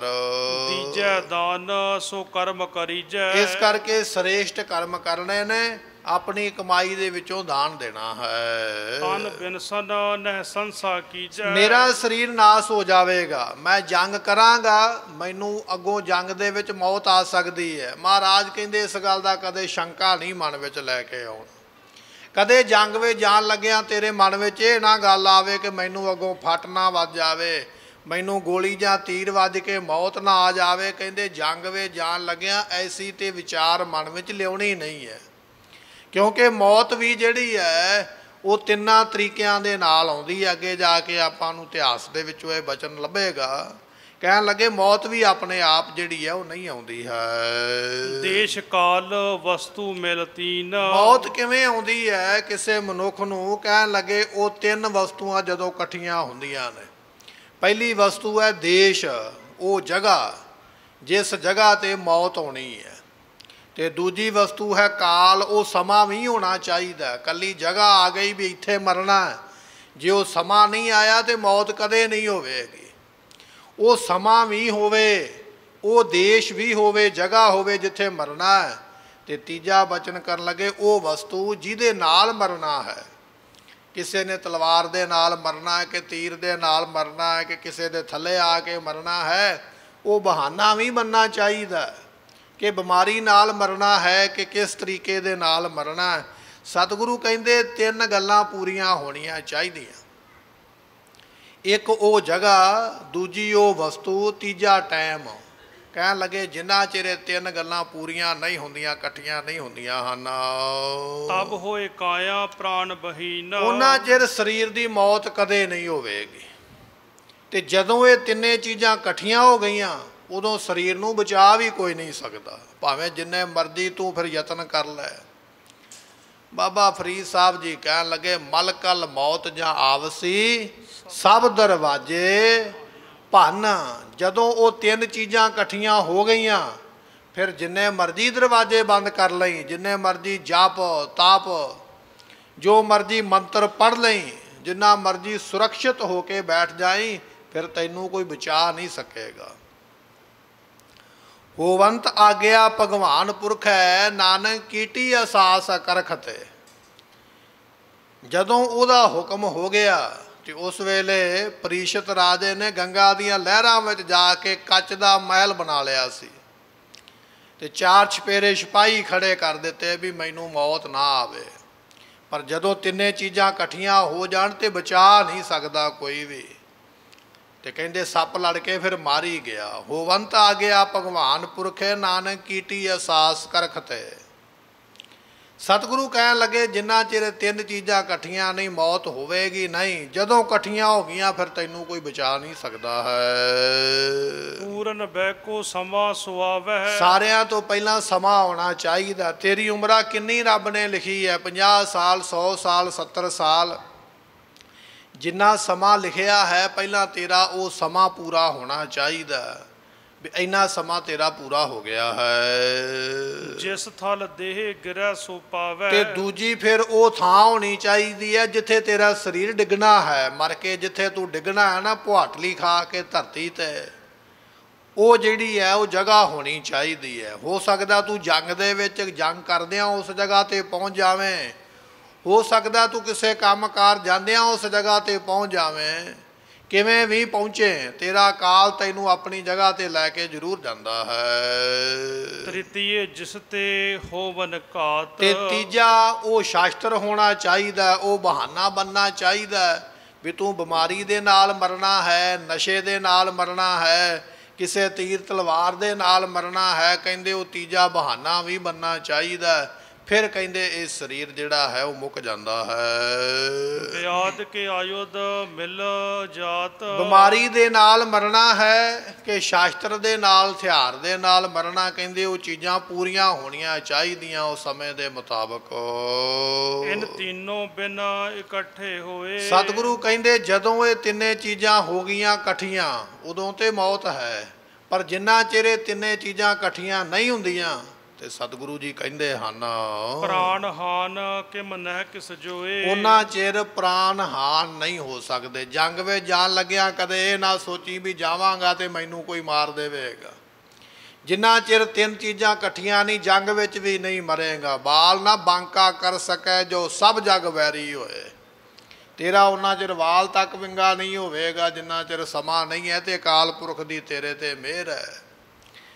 ਤੇ ਜਦੋਂ ਸਮਾਂ ਆ ਗਿਆ, ਉਦੋਂ ਕੋਈ ਬਚਾ ਨਹੀਂ ਸਕਦਾ। ਇੱਕ ਵਿਦਵਾਨ ਨੇ ਸਮਝਾਉਣ ਵਾਸਤੇ ਇੱਕ ਸਾਖੀ ਲਿਖੀ ਹੈ, ਕਹਿਣ ਲੱਗੇ, ਇੱਕ ਬਾਲਕ ਮਹਾਤਮਾ ਦੇ ਕੋਲ ਸੇਵਾ ਕਰਿਆ ਕਰਦਾ। ਤੇ ਸਵੇਰ ਦੀ ਸੇਵਾ ਕਰਕੇ ਜਦੋਂ ਸੈਰ ਕਰਨ ਵਾਸਤੇ ਜਾਣ ਲੱਗਾ, ਤੇ ਰਸਤੇ ਵਿੱਚ ਜੰਮ ਮੌਤ ਦਾ ਫਰਿਸ਼ਤਾ ਜਿਹੜਾ ਹੈ ਨਾ ਅਜਰਾਈਲ ਉਹ ਦਿਖਾਈ ਦਿੱਤਾ ਇਸ ਨੂੰ। ਤੇ ਬੱਚੇ ਨੂੰ ਕਹਿਣ ਲੱਗਾ, ਬੱਚਿਆ, ਤੂੰ ਬੜਾ ਸੋਹਣਾ ਹੈ ਤੇ ਤੇਰੀ ਉਮਰਾ ਬੜੀ ਛੋਟੀ ਹੈ ਤੇ ਮੈਂ ਮੌਤ ਦਾ ਫਰਿਸ਼ਤਾ। ਮੈਂ ਕਦੇ ਕਿਸੇ ਨੂੰ ਦਰਸ਼ਨ ਨਹੀਂ ਦਿੱਤੇ। ਕੇਵਲ ਤੈਨੂੰ ਦਿੱਤੇ ਵੀ ਤੂੰ ਚੰਗਾ ਲੱਗਦਾ ਹੈ। ਤੇਰੀ ਸ਼ਾਮ ਨੂੰ ਮੌਤ ਹੈ, ਬਚ ਸਕਦਾ ਤੇ ਬਚ ਜਾਣਾ ਕਰ। ਕੋਈ ਯਤਨ ਕਰ ਸਕਦਾ ਤੇ ਕਰ ਲੈ। ਇੰਨੀ ਗੱਲ ਕਹਿ ਕੇ ਮੌਤ ਦਾ ਫਰਿਸ਼ਤਾ ਲੋਪ ਹੋ ਗਿਆ, ਚਲਾ ਗਿਆ। ਬਾਲਕ ਉਸੇ ਵੇਲੇ ਦੌੜ ਕੇ ਡੇਰੇ ਵਿੱਚ ਆਇਆ, ਮਹਾਤਮਾ ਦੇ ਕੋਲੋਂ ਘੋੜਾ ਲਿਆ, ਘੋੜੇ ਦੇ ਉੱਪਰ ਬੈਠਾ। ਘੋੜੇ ਨੂੰ ਸਵੇਰ ਤੋਂ ਲੈ ਕੇ ਸ਼ਾਮ ਤੱਕ ਦੜਾਇਆ ਵੀ ਮੈਂ ਭੱਜ ਕੇ ਕਿਤੇ ਦੂਰ ਚਲਾ ਜਾਵਾਂ। ਸਤਿਗੁਰੂ ਜੀ ਕਹਿਣ ਲੱਗੇ, ਨਿਸ ਦਿਨ ਸੁਨ ਕੇ ਪ੍ਰਾਨ, ਸਮਝਤ ਨਹਿ ਰੇ ਅਜਾਨ। ਕਾਲ ਤੋਂ ਪਹੁੰਚਿਓ ਆਨ, ਕਹਾਂ ਜਾ ਹੈ ਭਾਜ ਰੇ, ਕਿੱਥੇ ਜਾਵੇਂਗਾ ਭੱਜ ਕੇ? ਪਰ ਬਾਲਕ ਹੈ ਭੱਜਣ ਦਾ ਯਤਨ ਕੀਤਾ। ਸਾਰਾ ਦਿਨ ਚੱਲਦਾ ਰਿਹਾ। ਜਦੋਂ ਪਈ ਸੰਧਿਆ ਸੂਰਜ ਲੱਗਾ ਡੁੱਬਣ, ਇੱਕ ਬਾਗ ਦੇ ਵਿੱਚ ਜਾ ਕੇ ਉਤਰਿਆ ਤੇ ਘੋੜੇ ਤੋਂ ਥੱਲੇ ਉਤਰ ਕੇ ਤੇ ਘੋੜੇ ਨੂੰ ਸ਼ਾਬਾਸ਼ ਦੇਣ ਲੱਗਾ। ਵੀ ਬੜਾ ਤੂੰ ਸਫ਼ਰ ਤੈਂ ਕੀਤਾ। ਮੈਨੂੰ ਬਚਾ ਦਿੱਤਾ, ਮੈਂ ਇੰਨੀ ਦੂਰ ਆ ਗਿਆ ਹਾਂ, ਹੁਣ ਮੈਨੂੰ ਕੋਈ ਮਾਰ ਨਹੀਂ ਸਕਦਾ, ਕੋਈ ਲੱਭ ਨਹੀਂ ਸਕਦਾ। ਇਹ ਇਦਾਂ ਅਜੇ ਗੱਲਬਾਤ ਕਰਦਾ ਪਿਆ ਤੇ ਉਹਨੇ ਚਿਰ ਨੂੰ ਉਹ ਮੌਤ ਦਾ ਫਰੇਸਤਾ ਫਿਰ ਸਾਹਮਣੇ ਆ ਗਿਆ, ਕਹਿਣ ਲੱਗਾ, ਤੇਰੇ ਨਾਲੋਂ ਜ਼ਿਆਦਾ ਸ਼ਾਬਾਸ਼ ਤੇ ਮੈਂ ਘੋੜੇ ਨੂੰ ਦੇਣੀ ਚਾਹੁੰਦਾ ਹਾਂ। ਤੇ ਬਾਲਕ ਕਹਿਣ ਲੱਗਾ ਵੀ ਤੂੰ ਇਹਨੂੰ ਸ਼ਾਬਾਸ਼ ਕਿਉਂ ਦੇਣੀ ਹੈ? ਕਾਰਨ ਕਹਿਣ ਲੱਗਾ ਵੀ ਜਦੋਂ ਤੈਨੂੰ ਸਵੇਰੇ ਉਸ ਪਿੰਡ ਵਿੱਚ ਵੇਖਿਆ ਸੀ, ਹੈਰਾਨ ਮਵੀ ਸੀ ਵੀ ਤੇਰੀ ਮੌਤ ਤੇ ਇੱਥੇ ਲਿਖੀ ਹੈ, ਬਾਗ ਦੇ ਵਿੱਚ ਤੇਰੇ ਕੋਲੋਂ ਪਹੁੰਚਿਆ ਜਾਣਾ ਨਹੀਂ। ਤੇ ਤੇਰੀ ਮੌਤ ਹੋਣੀ ਨਹੀਂ ਹੈ, ਪਰ ਵੇਖ ਤੇਰੀ ਮੌਤ ਇਹਨੂੰ ਆਪਣੇ ਟਿਕਾਣੇ ਤੇ ਲੈ ਕੇ ਆਈ ਹੈ। ਸਤਿਗੁਰੂ ਜੀ ਕਹਿਣ ਲੱਗੇ ਕਹਿਣ ਲੱਗੇ, ਕਹਾਂ ਜਾ ਹੈ ਭਾਜ ਭਾਜਰੇ ਭਜਿਆ ਨਹੀਂ ਜਾਣਾ ਪੁੱਤਰਾ, ਮੌਤ ਤੋਂ ਕੋਈ ਭੱਜ ਨਹੀਂ ਸਕਦਾ। ਆਪਣੇ ਆਪ ਆਪਣੇ ਟਿਕਾਣੇ ਤੇ ਲੈ ਜਾਂਦੀ ਹੈ। ਸਤਿਗੁਰੂ ਜੀ ਇੱਥੇ ਬਖਸ਼ਿਸ਼ ਕਰ ਰਹੇ ਨੇ। ਕਹਿਣ ਲੱਗੇ, ਜਿੰਨਾ ਚਿਰ ਤਿੰਨੇ ਚੀਜ਼ਾਂ ਇਕੱਠੀਆਂ ਨਹੀਂ ਹੁੰਦੀਆਂ ਉਹਨਾਂ ਚਿਰ ਮੌਤ ਹੁੰਦੀ ਨਹੀਂ ਜਦੋਂ ਇਕੱਠੀਆਂ ਹੋ ਜਾਣ ਉਦੋਂ ਫਿਰ ਬਚ ਨਹੀਂ ਸਕਦਾ ਹੈ। ਬਿਨ ਤਰੈ ਮਿਲੇ ਕਾਲ ਰਖਵਾਰੋ। ਕਹਿਣ ਲੱਗੇ ਜਿੰਨਾ ਚਿਰ ਤਿੰਨ ਵਸਤੂਆਂ ਨਹੀਂ ਨਾ ਮਿਲੀਆਂ ਸਮਾਂ ਉਹ ਧਰਤੀ ਤੇ ਉਹ ਵਸਤੂ ਜਿਹਦੇ ਨਾਲ ਮਰਨਾ ਉਹਨਾਂ ਚਿਰ ਮੌਤ ਵੀ ਤੇਰੀ ਰੱਖਿਆ ਕਰਦੀ ਹੈ। ਮੌਤ ਵੀ ਤੇਰੇ ਤੇ ਪਹਿਰਾ ਲਾ ਕੇ ਤੈਨੂੰ ਬਚਾ ਲੈਂਦੀ ਹੈ। ਉਹਨਾਂ ਚਿਰ ਕਾਲ ਵੀ ਤੈਨੂੰ ਆ ਕੇ ਬਚਾਉਂਦਾ ਹੈ। ਮਰਤ ਨਹੀਂ ਨੀਕੇ ਨਿਰਧਾਰੋ ਕਦੇ ਵੀ ਬੰਦਾ ਮਰਦਾ ਨਹੀਂ ਜਿੰਨਾ ਚਿਰ ਇਹ ਤਿੰਨ ਚੀਜ਼ਾਂ ਇਕੱਠੀਆਂ ਨਹੀਂ ਹੁੰਦੀਆਂ ਹਨ। ਜੇਕਰ ਜੁਧ ਆਨ ਕਿਤ ਪਰੈ। ਇਸ ਕਰਕੇ ਜਦੋਂ ਯੁੱਧ ਕਿਤੇ ਬਣ ਜਾਵੇ ਜਿਹੜਾ ਮਾਲਕ ਤੈਨੂੰ ਤਨਖਾਹ ਦਿੰਦਾ ਤੈਨੂੰ ਪਾਲਦਾ ਪਿਆ ਜਦੋਂ ਉਹਦੇ ਤੇ ਕਦੇ ਮੁਸੀਬਤ ਬਣ ਜਾਵੇ ਤੇ ਤੈਨੂੰ ਜੰਗ ਲੜਨਾ ਪਵੇ ਅੱਗੇ ਹੋ ਕੇ। ਅਲੱਭ ਕੇ ਬਹੁਤੇ ਨਹੀਂ ਵਿਚਰੈ। ਤੇ ਸਤਿਗੁਰੂ ਜੀ ਕਹਿੰਦੇ ਫਿਰ ਵਿਚਾਰੀ ਨਾ ਵੀ ਅੱਗੇ ਬੜੀ ਵੱਡੀ ਫੌਜ ਹੈ ਤੇ ਇੱਥੇ ਤੇ ਸਾਡਾ ਕੁਝ ਬੰਨਾ ਨਹੀਂ। ਫਿਰ ਜੰਗ ਦੇ ਵਿੱਚ ਇਹ ਨਹੀਂ ਵੇਖੀਦਾ ਵੀ ਅਗਲੇ ਕਿੰਨੇ ਨੇ ਘੱਟ ਨੇ ਕਿ ਜ਼ਿਆਦਾ ਨੇ। ਫਿਰ ਤੇ ਤਲਵਾਰ ਵਾਹ ਜਿੰਨੀ ਵਾਹੀ ਜਾਂਦੀ ਹੈ। ਜੇ ਤੇਰੀ ਮੌਤ ਉੱਥੇ ਲਿਖੀ ਹੈ ਤੇ ਤੈਨੂੰ ਕੋਈ ਬਚਾ ਨਹੀਂ ਸਕਦਾ। ਤੇ ਜੇ ਲਿਖੀ ਨਹੀਂ ਤੇ ਫਿਰ ਤੈਨੂੰ ਕੋਈ ਮਾਰ ਨਹੀਂ ਸਕਦਾ। ਕਦੇ ਵੀ ਸੂਰਮਾ ਜਿਹੜਾ ਨਾ ਜੰਗ ਦੇ ਮੈਦਾਨ ਦੇ ਵਿੱਚ ਗਿਣਤੀ ਦੀ ਗੱਲ ਨਾ ਕਰੇ ਵੀ ਫੌਜ ਅੱਗੇ ਗਿਣਤੀ ਵਿੱਚ ਜ਼ਿਆਦਾ ਹੈ ਕਿ ਘੱਟ ਹੈ ਸੂਰਮਿਆਂ ਦੇ ਵਾਂਗ ਬਹਾਦਰੀ ਦੇ ਨਾਲ ਲੜਨਾ ਕਰੇ। ਪੀਠ ਨਾ ਦੇਹ ਮਨੁਖ ਰਿਪ ਚਹੈ ਸੋ ਉਸ ਵੇਲੇ ਕਦੇ ਵੀ ਪਿੱਠ ਨਾ ਦੇਵੇ। ਜੰਗ ਮੈਦਾਨ ਦੇ ਵਿੱਚ ਕੋਈ ਸੂਰਮਾ ਪਿੱਠ ਦੇ ਕੇ ਭਜੇ ਨਾ ਇਹ ਨਾ ਹੋਵੇ ਕਿ ਸਾਰੀ ਉਮਰ ਤਨਖਾਹ ਲੈ ਕੇ ਪੈਸਾ ਲੈ ਕੇ ਖਾਦਾ ਹੋਵੇ। ਤੇ ਜਦੋਂ ਕੋਈ ਜੰਗ ਪੈ ਜਾਵੇ ਤੇ ਆਪਦੇ ਪੈਰਾਂ ਤੇ ਆਪੇ ਗੋਲੀ ਮਾਰ ਕੇ ਦਾਖਲ ਹੋ ਜਾਵੇ ਵੀ ਮੈਂ ਤੇ ਫਟੜ ਹੋ ਗਿਆ ਹੁਣ ਤੇ ਅੱਗੇ ਜਾ ਨਹੀਂ ਸਕਦਾ। ਕਹਿੰਦੇ ਇਸ ਤਰ੍ਹਾਂ ਦਾ ਕੈਰਾਂ ਵਾਲਾ ਕੰਮ ਨਾ ਕਰੇ ਫਿਰ ਪਿੱਠ ਨਾ ਵਿਖਾਵੇ ਜੰਗ ਦੇ ਵਿੱਚ ਸਾਹਮਣੇ ਹੋ ਕੇ ਫਿਰ ਲੜਨਾ ਕਰੇ। ਨਿਰਪੈ ਸ਼ਸਤਰ ਬਹਿ ਜਸ ਲਹੈ। ਉਸ ਵੇਲੇ ਫਿਰ ਨਿਰਭੈ ਹੋ ਕੇ ਡਰ ਤੋਂ ਰਹਿਤ ਹੋ ਕੇ ਡਰੇ ਨਾ ਸਰੀਰ ਤੇ ਨਾਸਵੰਤ ਹੈ। ਤੇ ਫਿਰ ਸ਼ਾਸਤਰਾਂ ਦੀ ਐਸੀ ਮਾਰ ਮਾਰੇ ਦੁਸ਼ਮਣ ਦੇ ਸਿਰ ਤੇ ਚੜ ਕੇ ਕਿ ਦੁਨੀਆ ਦੇ ਵਿੱਚ ਇਤਿਹਾਸ ਰਚ ਦੇਵੇ। ਜਗ ਮੈਂ ਪ੍ਰਾਪਤ ਬ੍ਰਿੰਦ ਪਦਾਰਥ। ਜੇ ਜੰਗ ਵਿੱਚ ਜਿੱਤ ਗਿਆ ਤੇ ਦੁਨੀਆ ਤੇ ਪਦਾਰਥ ਬਹੁਤੇ ਮਿਲਣਗੇ। ਵਡਿਆਈ ਮਿਲੇਗੀ ਸੁੱਖ ਮਿਲੇਗਾ ਇੱਜ਼ਤ ਮਿਲੇਗੀ। ਲੋਕ ਜੈ ਜੈਕਾਰਾ ਕਰਨਗੇ ਵੀ ਇਸ ਬੰਦੇ ਨੇ ਬੜੀ ਬਹਾਦਰੀ ਕੀਤੀ ਲੈ ਹੈ ਸਤ ਸੰਗਤ ਲਾਏ ਸਕਾਰਥ। ਤੇ ਉਹ ਪਦਾਰਥ ਜਿਹੜੇ ਨੇ ਫਿਰ ਕੱਲਾ ਹੀ ਨਾ ਉਹਨਾਂ ਨੂੰ ਸਾਂਭ ਲਵੇ ਸਤ ਸੰਗਤ ਵਿੱਚ ਵੰਡ ਵਰਤਾ ਕੇ ਸਾਰਿਆਂ ਦੇ ਵਿੱਚ ਵੰਡ ਕੇ ਛਕਣਾ ਕਰੇ। ਜੇ ਰਣ ਮੈਸਨ ਮੁਖ ਮ੍ਰਿਤ ਪਾਵੈ। ਪਰ ਜੇ ਲੜਦਿਆਂ ਹੋਇਆਂ ਮੌਤ ਹੋ ਜਾਵੇ ਕਿਉਂਕਿ ਦੋਵੇਂ ਪੱਖ ਬਰਾਬਰ ਨੇ ਨਾ ਜੇ ਮੌਤ ਉੱਥੇ ਲਿਖੀ ਹੈ ਤੇ ਫਿਰ ਹੋਣੀ ਹੈ। ਸਤਿਗੁਰੂ ਕਹਿੰਦੇ ਜੇ ਜੰਗ ਲੜਦਿਆਂ ਹੋਇਆਂ ਮੌਤ ਹੋ ਗਈ ਮਰ ਗਿਆ। ਤੇ ਫਿਰ ਪਾਤਸ਼ਾਹ ਜੀ ਕਹਿੰਦੇ ਉਸ ਵੇਲੇ ਸਵਰਗ ਨਿਸੰਸੈ ਸੂਰ ਸਧਾਵੈ। ਉਹ ਜਿਹੜਾ ਸੂਰਮਾ ਹੈ ਨਾ ਫਿਰ ਸੰਸਾ ਨਹੀਂ ਹੈ। ਸ਼ੱਕ ਨਹੀਂ ਹੈ ਵੀ ਉਹ ਸੱਚਖੰਡ ਨੂੰ ਨਹੀਂ ਜਾਵੇਗਾ। ਜੰਗ ਲੜਦਾ ਜੇ ਮਾਰਿਆ ਗਿਆ ਤੇ ਸਿੱਧੀ ਸੱਚਖੰਡ ਦੀ ਪ੍ਰਾਪਤੀ ਹੈ ਪਰ ਜੰਗ ਧਰਮ ਦਾ ਹੋਵੇ। ਇਹ ਨਹੀਂ ਵੀ ਆਪਣਾ ਬਦਲਾ ਲੈਣ ਵਾਸਤੇ ਕਿਸੇ ਨੂੰ ਮਾਰ ਕੇ ਮਰ ਜਾਵੇ। ਜਾਂ ਨਸ਼ਾ ਪਤਾ ਖਾ ਕੇ ਮਰ ਜਾਵੇ ਤੇ ਲੋਕ ਯਾਦਗਾਰ ਬਣਾ ਦਿੰਦੇ, ਸਾਡਾ ਫਲਾਣਾ ਸ਼ਹੀਦ ਹੈ। ਤੇ ਭਾਵੇਂ ਉਸਨੇ ਦੁਨੀਆ ਦੇ ਗਲਤ ਗੰਦੇ ਕੰਮ ਕੀਤੇ ਹੋਣ, ਉਹਨੂੰ ਵੀ ਸ਼ਹੀਦ ਦਾ ਦਰਜਾ ਦਿੱਤਾ ਜਾਂਦਾ। ਉਹ ਸ਼ਹੀਦ ਨਹੀਂ ਗਿਣਿਆ ਜਾਵੇਗਾ। ਸ਼ਹੀਦ ਉਹ ਹੈ ਜਿਹੜਾ ਧਰਮ ਦੇ ਵਾਸਤੇ, ਦੇਸ਼ ਦੇ ਵਾਸਤੇ ਲੜਿਆ ਉਸ ਨੂੰ ਸ਼ਹੀਦ ਮੰਨਿਆ ਜਾਂਦਾ ਹੈ। ਸਤਿਗੁਰੂ ਮਹਾਰਾਜ ਜੀ ਕਹਿ ਰਹੇ ਨੇ, ਕਹਿੰਦੇ, ਭਾਈ, ਤੂੰ ਫੌਜ ਦੇ ਵਿੱਚ ਨੌਕਰੀ ਕਰਦਾ ਤੇ ਜੇ ਜੰਗ ਦੇ ਵਿੱਚ ਸ਼ਹੀਦ ਵੀ ਹੋ ਗਿਆ ਤੇ ਕਹਿਣ ਲੱਗੇ, ਨਿਰਸੰਸਾ, ਸ਼ੱਕ ਨਹੀਂ ਹੈ, ਭਰਮ ਨਹੀਂ ਹੈ। ਸਿੱਧੇ ਹੀ ਸੱਚਖੰਡ ਦੀ ਪ੍ਰਾਪਤੀ ਹੁੰਦੀ ਹੈ। ਸੱਚਖੰਡ ਦਾ ਵਾਸੀ ਬਣ ਜਾਂਦਾ ਹੈ। ਐਸੇ ਜਿਹੜੇ ਗੁਰਮੁਖ ਨੇ, ਉਹਨਾਂ ਦੀ ਇਹ ਅਵਸਥਾ, ਉਹਨਾਂ ਨੂੰ ਇਹ ਸਤਿਗੁਰੂ ਜੀ ਹਿੰਮਤ ਬਖਸ਼ਿਸ਼ ਕਰਦੇ ਨੇ। ਪਰ ਸ਼ਹੀਦੀ ਵੀ ਐਵੇਂ ਨਹੀਂ ਮਿਲ ਜਾਂਦੀ ਹੈ। ਉਹਦੇ ਵਾਸਤੇ ਵੀ ਚੰਗਾ ਕਰਮ ਹੋਣਾ ਚਾਹੀਦਾ ਚੰਗੇ ਕਰਮ ਤੋਂ ਬਿਨਾ ਸ਼ਹੀਦੀ ਵੀ ਪ੍ਰਾਪਤ ਨਹੀਂ ਹੁੰਦੀ ਹੈ। ਸਤਿਗੁਰੂ ਜੀ ਦਾ ਬਚਨ ਕਹਿਣ ਲੱਗੇ, ਗਗਨ ਦਮਾਮਾ ਬਾਜਿਓ ਪਰਿਓ ਨਿਸਾਨੈ ਘਾਓ, ਖੇਤ ਜੋ ਮੰਡਿਓ ਸੂਰਮਾ, ਅਬ ਜੂਜਨ ਕੋ ਦਾਓ ਸੂਰਾ ਸੋ ਪਹਿਚਾਨੀਐ, ਜੋ ਲੜੈ ਦੀਨ ਕੇ ਹੇਤ। ਸੂਰਮਾ ਉਹ ਹੈ ਜਿਹੜਾ ਧਰਮ ਦੇ ਵਾਸਤੇ ਲੜਦਾ, ਆਪਣੇ ਵਾਸਤੇ ਨਹੀਂ, ਆਪਣੀ ਨਿੱਜੀ ਰੰਜਸ ਵਾਸਤੇ ਨਹੀਂ, ਜਿਹੜਾ ਲੜਦਾ ਹੈ ਧਰਮ ਦੇ ਵਾਸਤੇ। ਜਿਹੜਾ ਲੜਦਾ ਹੈ ਕਿਸੇ ਕਾਰਜ ਦੇ ਵਾਸਤੇ, ਉਹਨੂੰ ਸੂਰਮਾ ਕਿਹਾ ਜਾਂਦਾ ਪਰ ਇਸ ਤਰ੍ਹਾਂ ਦੀ ਬਿਰਤੀ ਜਿਹੜੀ ਹੈ ਨਾ, ਉਹ ਉੱਚੇ ਸੁੱਚੇ ਲੋਕਾਂ ਦੀ ਹੋਇਆ ਕਰਦੀ ਹੈ। ਪਿਛਲੇ ਸਮੇਂ ਦੇ ਵਿੱਚ ਹਾਲਾਤ ਬਹੁਤ ਜ਼ਿਆਦਾ ਮਾੜੇ ਰਹੇ ਤੇ ਇੱਕ ਗੁਰਜੰਟ ਸਿੰਘ ਨਾਮ ਦਾ ਇੱਕ ਸੂਰਮਾ ਹੋਇਆ ਜਿਸ ਨੇ ਬਹੁਤ ਜ਼ਿਆਦਾ ਵੱਡੇ ਵੱਡੇ ਕਾਰਨਾਮੇ ਕੀਤੇ। ਜਦੋਂ ਖਾੜਕੂ ਲਹਿਰ ਦੇ ਵਿੱਚ ਭਰਤੀ ਹੋਇਆ ਤੇ ਬੜਾ ਨਾਂ ਫੈਲ ਗਿਆ ਦੁਨੀਆ ਦੇ ਵਿੱਚ, ਇਲਾਕੇ ਦੇ ਵਿੱਚ। ਇੱਕ ਸਮਾਂ ਆਇਆ ਆਪਣੇ ਘਰੇ ਚਲਾ ਗਿਆ ਪਰਿਵਾਰ ਨੂੰ ਮਿਲਣ ਵਾਸਤੇ ਤੇ ਦੂਜੇ ਭਰਾ ਸਿੱਧਾ ਤੇ ਗੱਲ ਨਾ ਕਰ ਸਕੇ ਵੀ ਇਹਨੂੰ ਕੀ ਕਹੀਏ। ਉਹਨਾਂ ਨੇ ਮਾਤਾ ਨੂੰ ਸਮਝਾਇਆ ਵੀ ਮਾਂ ਇਹਨੂੰ ਸਮਝਾਵੇਗੀ ਕਹੇਗੀ ਤੇ ਸਾਡਾ ਕਾਰਜ ਬਣ ਜਾਵੇਗਾ। ਤੇ ਮਾਂ ਦੂਜੇ ਪੁੱਤਰਾਂ ਦੀ ਗੱਲ ਸੁਣ ਕੇ ਗੁਰਜੰਟ ਸਿੰਘ ਦੇ ਕੋਲ ਆਈ, ਬੁੱਧ ਸਿੰਘ ਵਾਲਾ ਉਹਦਾ ਪਿੰਡ ਹੈ।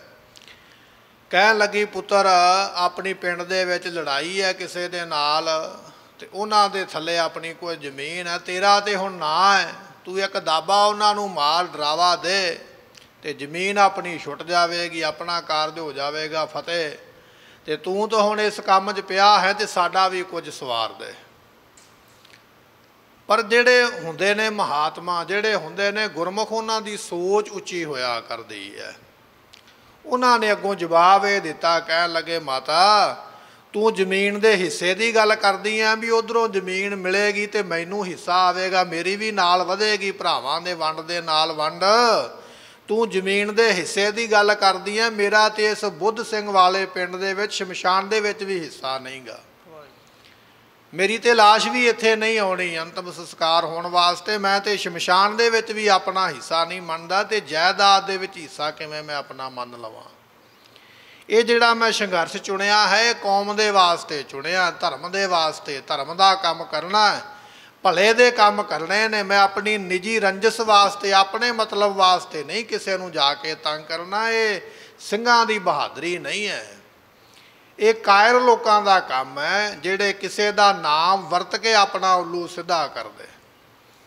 ਮੈਂ ਇਸ ਲਾਈਨ ਨੂੰ ਦਾਗ ਨਹੀਂ ਲਾਉਣਾ। ਮੈਂ ਸੱਚੀ ਸੁੱਚੀ ਜਿਹੜੀ ਹੈ, ਮੇਰੀ ਸੇਵਾ ਮੈਂ ਕਰਾਂਗਾ, ਜਿੰਨਾ ਚਿਰ ਮੈਨੂੰ ਪਰਮਾਤਮਾ ਨੇ ਬਖਸ਼ੀ ਹੈ। ਜਦੋਂ ਐਸਾ ਜਵਾਬ ਉਸ ਬਹਾਦਰ ਨੇ ਦਿੱਤਾ, ਤੇ ਮਾਂ ਦੇ ਕੋਲ ਫਿਰ ਹਿੰਮਤ ਨਹੀਂ ਰਹੀ ਕਿ ਦੂਜੀ ਵਾਰੀ ਫਿਰ ਉਹੋ ਜੀ ਕੋਈ ਗੱਲ ਕਰ ਸਕੇ। ਇਸ ਤਰ੍ਹਾਂ ਦੇ ਮਹਾਨ ਗੁਰਮੁਖਾਂ ਨੂੰ ਕਿਹਾ ਜਾਂਦਾ ਵੀ ਉਹ ਕੌਮ ਦੇ ਨਾਂ ਤੇ ਸ਼ਹੀਦ ਹੋਏ ਨੇ।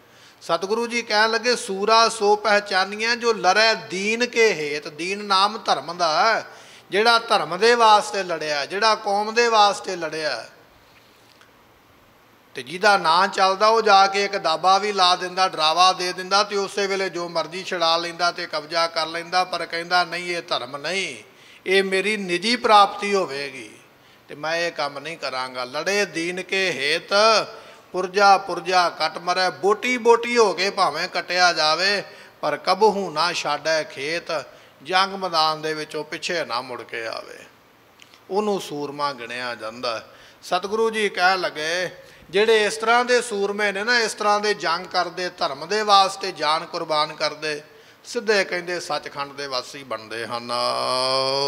ਹਿੰਮਤ ਵੈ ਲੋਕ ਉਜਲ ਆਨਨ ਉਹਨਾਂ ਲੋਕਾਂ ਦਾ ਉਹਨਾਂ ਗੁਰਮੁਖਾਂ ਦਾ ਦੋਵਾਂ ਲੋਕਾਂ ਦੇ ਵਿੱਚ ਮੁਖ ਉਜਲਾ ਹੁੰਦਾ ਕਿਉਂਕਿ ਇਹਨੇ ਸਵਾਲ ਕੀਤਾ ਸੀ ਮਹਾਰਾਜ ਦੋਵਾਂ ਲੋਕਾਂ ਦੇ ਵਿੱਚ ਮੁਖ ਉਜਲਾ ਕਿਵੇਂ ਹੋਵੇ? ਤੇ ਸਤਿਗੁਰੂ ਜੀ ਨੇ ਦੱਸਿਆ ਵੀ ਇਸ ਤਰੀਕੇ ਦੇ ਨਾਲ ਇਸ ਲੋਕ ਦੇ ਵਿੱਚ ਵੀ ਸਤਕਾਰ ਮਿਲੇਗਾ ਜਦੋਂ ਧਰਮ ਦੇ ਵਾਸਤੇ ਲੜੇਗਾ ਤੇ ਜਦੋਂ ਸ਼ਹੀਦ ਹੋ ਜਾਵੇਗਾ ਤੇ ਪਰਲੋਕ ਦੇ ਵਿੱਚ ਵੀ ਸਤਕਾਰ ਪ੍ਰਾਪਤ ਹੁੰਦਾ ਹੈ। ਕਰ ਕਲਿਆਣ ਏਵ ਨਿਜ ਪ੍ਰਾਨਨ ਸਤਿਗੁਰੂ ਜੀ ਕਹਿੰਦੇ ਇਸ ਤਰ੍ਹਾਂ ਤੂੰ ਆਪਣੇ ਪ੍ਰਾਣਾਂ ਨੂੰ ਪ੍ਰਾਪਤ ਕੀਤਾ ਹੈ ਤੇ ਆਪਣੀ ਕਲਿਆਣ ਕਰ ਲੈ ਹੁਣ ਤੈਨੂੰ ਸਮਾਂ ਮਿਲਿਆ ਹੋਇਆ ਹੈ। ਮੱਲੂ ਸ਼ਾਹੀ ਸੁਨ ਉਪਦੇਸ਼। ਭਾਈ ਮੱਲੂ ਸ਼ਾਹ ਨੇ ਸੁਣਿਆ ਉਪਦੇਸ਼ ਗੁਰੂ ਅੰਗਦ ਸਾਹਿਬ ਮਹਾਰਾਜ ਜੀਆਂ ਦਾ। ਉਪਦੇਸ਼ ਤੇ ਸਾਰੇ ਹੀ ਸੁਣਦੇ ਨੇ ਬਚਨ ਤੇ ਸਾਰੇ ਹੀ ਸੁਣਦੇ ਨੇ। ਸੇਵਕ ਸਿੱਖ ਪੂਜਨ ਸਭ ਆਵੈ ਸਭ ਗਾਵੈ ਹਰ ਹਰ ਊਤਮ ਬਾਣੀ। ਗਾਵਿਆ ਸੁਣਿਆ ਤਿਨ ਕਾ ਹਰ ਥਾਏ ਪਾਵੈ। ਜਿਨ ਸਤਿਗੁਰ ਕੀ ਆਗਿਆ ਸਤ ਸਤ ਕਰ ਮਾਨੀ। ਜਿਨੇ ਬਚਨ ਮੰਨ ਲਿਆ ਹੈ, ਸੁਣਦੇ ਤੇ ਸਾਰੇ ਹੀ ਨੇ, ਸੁਣਨ ਵਾਲੇ ਤੇ ਬੜੇ ਨੇ। ਸਤਿਗੁਰੂ ਜੀ ਕਹਿਣ ਲੱਗੇ ਜਿਹੜੇ ਮੰਨਣ ਵਾਲੇ ਨੇ ਨਾ ਭਾਈ ਮੱਲੂ ਸ਼ਾਹ ਵਰਗੇ ਜਿਹੜੇ ਉਪਦੇਸ਼ ਦੀ ਕਮਾਈ ਕਰਦੇ ਹਨ। ਵਰਤਨ ਲਾਗਿਓ ਤਥਾ ਮਹੇਸ਼ੋ। ਉਹਨੇ ਤੇ ਉਹ ਜਿਹੜਾ ਉਪਦੇਸ਼ ਹੈ ਨਾ ਆਪਣੇ ਹਿਰਦੇ ਵਿੱਚ ਧਾਰਨ ਕਰ ਲਿਆ ਵੀ ਜੋ ਗੁਰੂ ਨੇ ਕਹਿਤਾ ਹੁਣ ਇਹਦੇ ਉੱਪਰ ਹੀ ਪਹਿਰਾ ਦੇਣਾ ਹੈ ਇਹਦੇ ਉੱਪਰ ਹੀ ਚੱਲਣਾ ਹੈ। ਪਰ ਐਸੀ ਅਵਸਥਾ ਜਿਹੜੀ ਹੈ ਉਹ ਕਮਾਈ ਵਾਲਿਆਂ ਨੂੰ ਪ੍ਰਾਪਤ ਹੁੰਦੀ ਹੈ ਨਹੀਂ ਤਾਂ ਦੁਨੀਆ ਦੇ ਲੋਕਾਂ ਦੇ ਪੈਰ ਨਹੀਂ ਹੁੰਦੇ। ਚਾਰ ਜਾਣੇ ਇੱਧਰ ਜਾਦੇ ਨੇ ਤੇ ਛਾਲ ਮਾਰ ਕੇ ਇੱਧਰ ਹੋ ਜਾਵੋ। ਉਧਰ ਹਾਂ ਹਾਂ ਕਰ ਦਿਓ ਵੀ ਠੀਕ ਹੈ। ਚਾਰ ਜਾਣੇ ਦੂਜੇ ਬੰਨੇ ਜਾਦੇ ਤੇ ਉਧਰ ਨੂੰ ਹੋ ਜਾਵੋ ਵੀ ਠੀਕ ਹੈ, ਮੈਂ ਸਾਰਿਆਂ ਨਾਲ ਹੀ ਸਾਂਝਾ ਹਾਂ। ਪਰ ਜਿਹੜੇ ਗੁਰਮੁਖ ਨੇ ਨਾ ਕਹਿਣ ਲੱਗੇ ਫਿਰ ਉਹ ਗੁਰੂ ਦਾ ਉਪਦੇਸ਼ ਮੰਨ ਕੇ ਉਹਦੇ ਉੱਪਰ ਪਹਿਰਾ ਦਿੰਦੇ ਨੇ, ਫਿਰ ਗਿਣਤੀ ਦੀ ਗੱਲ ਨਹੀਂ ਕਰਦੇ ਵੀ ਕਿੱਧਰ ਵੱਧ ਤੇ ਕਿੱਧਰ ਘੱਟ ਹੈ। ਉਹ ਫਿਰ ਉਪਦੇਸ਼ ਗੁਰੂ ਦੇ ਉੱਪਰ ਚੱਲਦੇ ਨੇ। ਤੇ ਗੁਰੂ ਦਾ ਬਚਨ ਹੀ ਮੰਨਦੇ ਹਨ। ਵੰਡ ਖਾਏ ਨਿਜ ਧਰਮ ਵਿਚਾਰੈ। ਦਸਾਂ ਨੋਆਂ ਦੀ ਕਿਰਤ ਕਮਾਈ ਕਰਕੇ ਉਸ ਨੂੰ ਵੰਡ ਕੇ ਛਕਣਾ ਅਤੇ ਨਾਲ ਹੀ ਕਹਿਣ ਲੱਗੇ ਕਿ ਆਪਣੇ ਧਰਮ ਦੇ ਵਿੱਚ ਰਹਿੰਦਿਆਂ ਹੋਇਆਂ ਧਰਮੀ ਕਾਰਜ ਕਰਨੇ ਹਨ। ਆਤਮ ਤਨ ਸਤਾ ਸਤ ਧਾਰੈ। ਸੋ ਕਹਿਣ ਲੱਗੇ ਜਿਹੜੀ ਆਤਮਾ ਹੈ ਇਹ ਤੇ ਹੈ ਸਤ। ਇਹ ਹੈ ਸੱਚੀ ਕਦੇ ਨਹੀਂ ਮਰਦੀ ਕਦੇ ਨਹੀਂ ਨਾਸ ਹੁੰਦੀ। ਤੇ ਤਨ ਜਿਹੜਾ ਹੈ, ਉਹ ਸਦਾ ਵਾਸਤੇ ਝੂਠਾ ਹੈ। ਉਹ ਨਾਸ ਹੈ, ਕਦੇ ਵਾਸਤੇ ਰਹਿੰਦਾ ਨਹੀਂ। ਸਤਿਗੁਰੂ ਜੀ ਕਹਿਣ ਲੱਗੇ, ਜੋ ਉਪਜਿਓ ਸੋ ਬਿਨਸ ਹੈ, ਪਰੋ ਆਜ ਕੈ ਕਾਲ, ਨਾਨਕ ਹਰ ਗੁਣ ਗਾਏ ਲੇ, ਛਾੜ ਸਗਲ ਜੰਜਾਲ। ਜਿਹੜਾ ਉਪਜਿਆ, ਪੈਦਾ ਹੋਇਆ, ਭਾਵੇਂ ਉਹ ਮਨੁੱਖ ਹੈ, ਭਾਵੇਂ ਕੋਈ ਪਸ਼ੂ ਪੰਛੀ ਹੈ, ਜਿਹੜਾ ਜਿਹਦਾ ਜਨਮ ਹੋ ਗਿਆ ਦੁਨੀਆ ਤੇ ਕਿਉਂਕਿ ਦੁਨੀਆ ਹੀ ਨਾਸਵੰਤ ਹੈ, ਜਿਹੜਾ ਸੰਸਾਰ ਵਿੱਚ ਜੰਮੇਗਾ, ਸੰਸਾਰ ਆਪ ਹੀ ਮਰਨ ਵਾਲਾ ਹੈ। ਦੁਨੀਆ ਤੇ ਆਪ ਨਹੀਂ ਸਦਾ ਵਾਸਤੇ ਰਹਿਣ ਵਾਲੀ ਤੇ ਜਿਹੜਾ ਦੁਨੀਆ ਵਿੱਚ ਪੈਦਾ ਹੋਇਆ ਉਹ ਕਿਵੇਂ ਰਵੇਗਾ ਉਸਨੇ ਵੀ ਚਲੇ ਜਾਣਾ ਹੈ। ਸਤਿਗੁਰੂ ਜੀ ਕਹਿਣ ਲੱਗੇ, ਮੌਲਾ ਖੇਲ ਕਰੇ ਸਭ ਆਪੇ, ਇੱਕ ਕੱਢੇ, ਇੱਕ ਲਹਿਰ ਵਿਆਪੇ। ਬਿਰਖੇ ਹੇਤ ਸਭ ਜੰਤ ਇਕੱਠੇ, ਇੱਕ ਤੱਤੇ ਇੱਕ ਬੋਲਣ ਮਿੱਠੇ, ਅਸਤ ਅਦੂਤ ਭਇਆ ਉੱਠ ਚੱਲੇ। ਜਿਉਂ ਜਿਉਂ ਔਦ ਵਿਹਾਣੀਆਂ ਜਿਵੇਂ ਜਿਵੇਂ ਸਮਾਂ ਪੂਰਾ ਹੁੰਦਾ ਇਹ ਵਿਚਾਰੇ ਜੀਵ ਉਡਾਰੀਆਂ ਮਾਰ ਕੇ ਸੰਸਾਰ ਨੂੰ ਛੱਡ ਜਾਂਦੇ। ਭਾਈ ਮੱਲੂ ਸ਼ਾਹ ਨੇ ਉਪਦੇਸ਼ ਲਿਆ ਗੁਰੂ ਅੰਗਦ ਸਾਹਿਬ ਦਾ, ਕਮਾਈ ਕੀਤੀ ਤੇ ਆਪਣੇ ਆਪ ਨੂੰ ਸਫਲਾ ਕਰ ਲਿਆ। ਉਪਦੇਸ਼ ਅਸੀਂ ਵੀ ਅੱਜ ਲੈ ਲਿਆ ਹੈ, ਇਹ ਹੁਣ ਸਾਡੀ ਆਪਣੀ ਮਰਜ਼ੀ ਹੈ, ਜੇ ਚੱਲਾਂਗੇ ਇਹਦੇ ਉੱਪਰ ਤੇ ਸਾਡਾ ਵੀ ਭਲਾ ਹੋ ਜਾਣਾ ਹੈ। ਭੁੱਲਾਂ ਚੁੱਕਾਂ ਦੀ ਮੁਆਫੀ ਸਤਿਗੁਰੂ ਰਹਿਮਤ ਕਰੇ।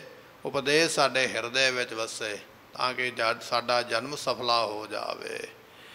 ਲੇਖੈ ਕਤਹਿ ਨ ਛੂਟੀਐ, ਖਿਨ ਖਿਨ ਭੂਲਨ ਹਾਰ। ਬਖਸ਼ਨ ਹਾਰ ਬਖਸ਼ ਲੈ, ਨਾਨਕ ਪਾਰੇ ਉਤਾਰ। ਵੰਡ ਖਾਏ, ਨਿਜ ਧਰਮ ਵਿਚਾਰੈ, ਆਤਮ ਤਨ ਸਤਾ ਸਤ ਧਾਰੈ। ਵਾਹਿਗੁਰੂ ਜੀ ਕਾ ਖਾਲਸਾ, ਵਾਹਿਗੁਰੂ ਜੀ ਕੀ ਫਤਿਹ।